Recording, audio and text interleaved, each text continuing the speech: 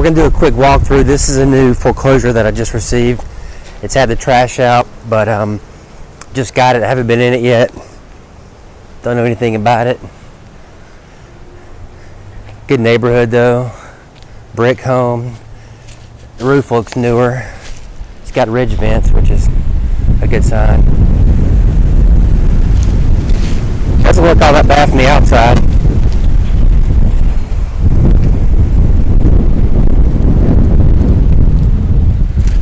See much wood rot at all. I see a little bit of chipping paint, but that's not bad. Looks like they had a bush or something here somebody removed.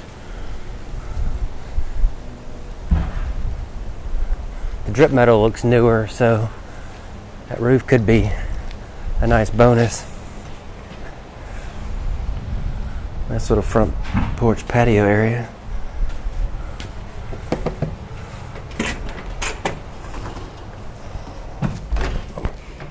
Holy smokes. Another original. I've had a few of these lately. With the kitchen on the front of the house. Oh, this tile is horrible. Okay, well, the carpets and the tile have to go. There were smokers in this house and it stinks. There's the master. Oh, God. It's a good sized room. Hopefully, those windows are not ruined. This carpet's just nasty and it stinks. But good sized master bedroom, split floor plan, that's nice. Whoa. Jeez. It's a huge bathroom, but man, is it out of the Brady Bunch era. Wallpaper. This horrific 8 inch tile.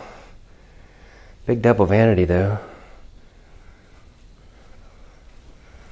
Yeah, this is going to be a great property for an investor. For the most part, depends on which what you really want to do with the kitchen. But the cabinets seem to be in pretty good shape. Might could be painted, or you could just redo the whole thing. These floors are horrible.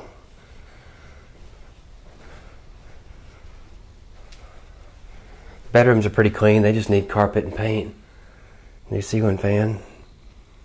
It's got newer windows, which is a nice bonus.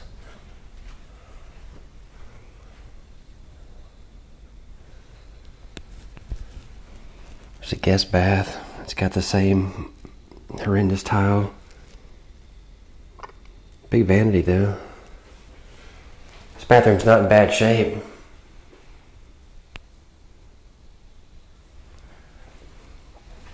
Let's look at the AC.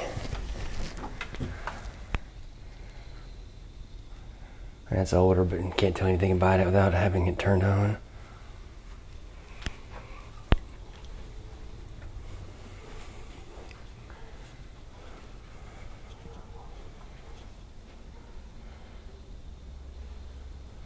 All right, let's walk around back and check it out. There's a little spot in the sheetrock. I mean, it seems like it might, might have pretty good bones. Let's check out the back.